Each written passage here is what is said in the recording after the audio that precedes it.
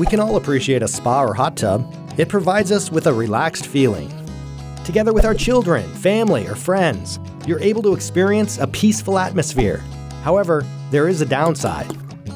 Bacteria and calcium float around and want to attach to the surface of the hot tub. And there's a lot of surface to attach to. This substance is called biofilm. This slimy biofilm is also seen in everyday life, for example, with a vase of flowers. Or an even better example, the film on the top of your teeth. This is why we brush our teeth. But why don't we brush the pipes in our spa? If we don't remove biofilm from the hot tub, it'll have many tedious consequences. Chlorine and bromine can kill bacteria, but they can't do this when bacteria is protected by biofilm, and chlorine and bromine can't get to it.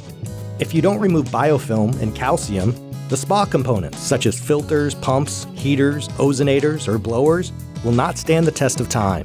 The water will get increasingly dirty, and you'll just be adding more disinfectant.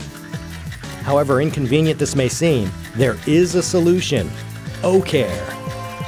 O-Care will prevent and remove biofilm. While less chemicals are required.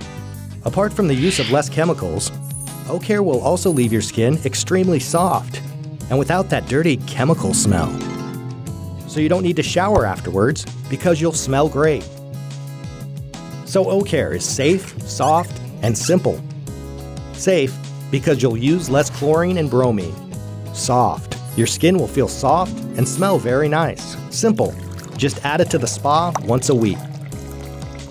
So O-Care will make your spa experience more natural and a lot better.